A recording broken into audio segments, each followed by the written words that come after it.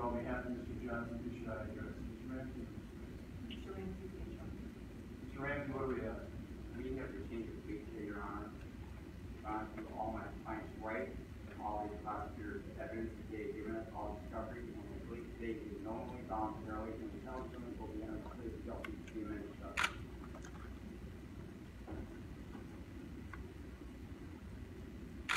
No, no. Your Honor, um, based and pursuant to plea negotiations and consistent with the fam, the victim's family's desires, Your Honor, we would ask that you accept the defendant's change of plea at this time to the amended indictment. The amendment consists of count one, three, four, and five being dismissed, um, leaving this, uh, plea of guilty to count two, aggravated vehicular homicide, Your Honor. Pursuant to our plea negotiations, uh, and again, the victim's family's desires, we do have an arrangement and a, an agreement for the sentencing, that being that the defendant will be ordered and sentenced to five years of community control sanction. Should he have any violation of any of those sanctions, he will serve five years in prison with no judicial release, Your Honor. Uh, we do plan on asking for mental health assessment and follow through with any sort of recommend, recommendations, and also drug and alcohol assessment, and follow through with any recommendation.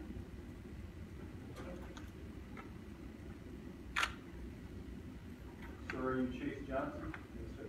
How old are you? You able to read, write, and understand English language? Are you citizen of the United States? Yes, sir. You stand your attorney to the matter of plea guilty on behalf of the amended indictment that includes one count of aggravated vehicular homicide, a felony in the third degree. Yes, sir.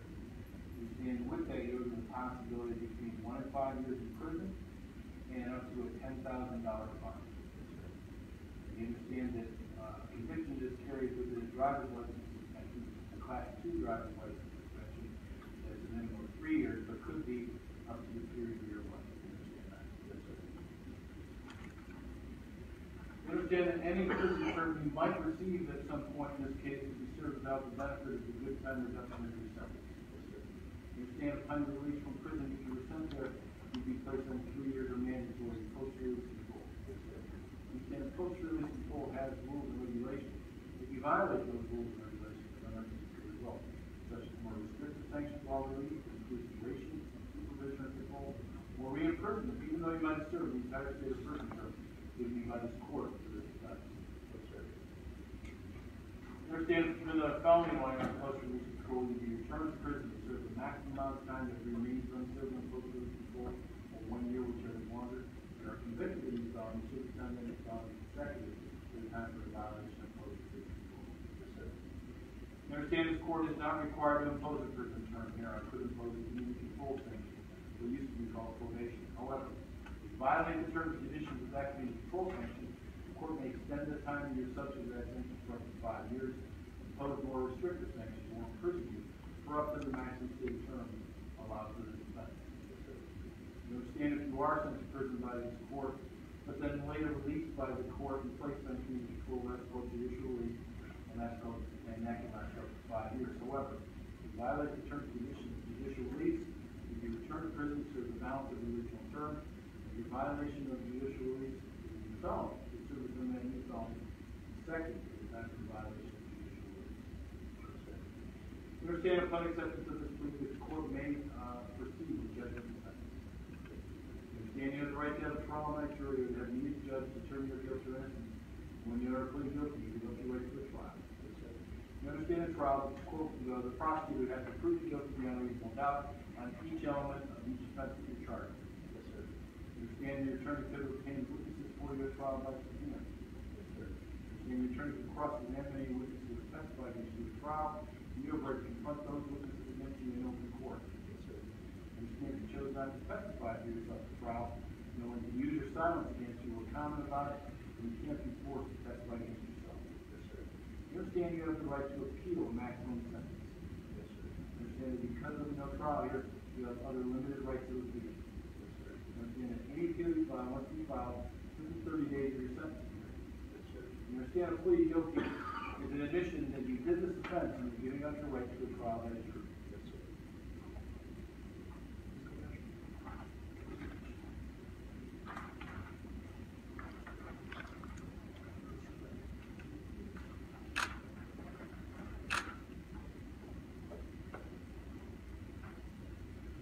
Have you shown this on the plea guilty form? Did you sign that?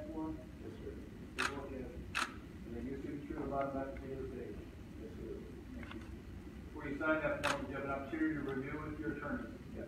Did they explain it to you? Yes, sir. Did you understand it? Yes. You signed this form voluntarily of your own free will. Yes, sir. Were there any promises made to you that haven't been discussed on the record here in open court? No, sir. Has anyone threatened you in order you plead guilty? No, sir. Do you have any objection to plea guilty being entered on your behalf at this time? No, sir. Are you satisfied with your attorney's service? Yes, sir. Is there anything about this proceeding you don't understand? No, sir. Do you have any questions for me at this point?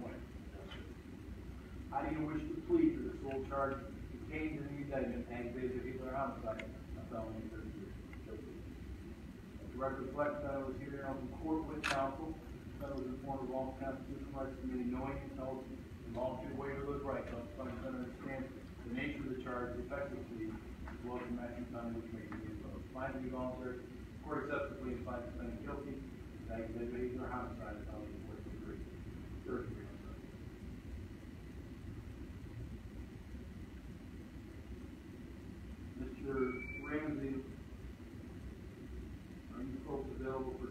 for sentencing on either August eighth or August fifteenth? Either your honor, there for court. uh, February is better for the court, Well, we do it the fifteenth then, uh, morning or afternoon, better for you folks.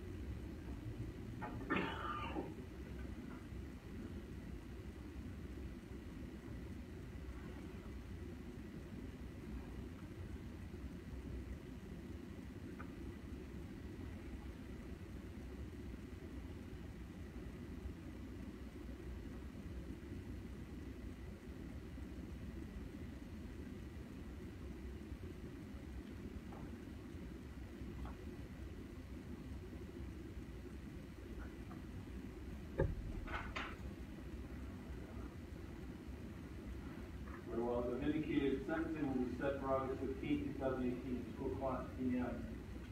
Um, Mr. Johnson, you're being given a sheet right now. You can take that sheet, first off, understand that your sentencing date and time is on the front of that sheet. Secondly, in the back of that sheet is a map address and phone number to my pre-sentence department, half a block away from here, down 3rd Street, okay? okay. Um, across from the parking garage. Uh, you need to get over there um, immediately from here and start the process rolling to, uh, give me a pre-sentence report evaluation. I how long, if I don't have that evaluation, in time of sentencing, I have no choice but to send you to prison. So your cooperation, in having that prepared is extremely important, uh, certainly to you, I think, as well as others. Um, you also need to understand this, you have, uh, struck a sentencing bargain as well as a plea bargain in the state of Ohio. Um, and it's my intention, full intention to follow through on that. However, you can change my mind in the, in the weeks between now and sentencing. Okay? You that by showing me that you don't, you won't be able to survive on community school. Now, a way to show me you can survive on community school is to make sure you do the. Don't, often, uh, you don't take drugs or alcohol.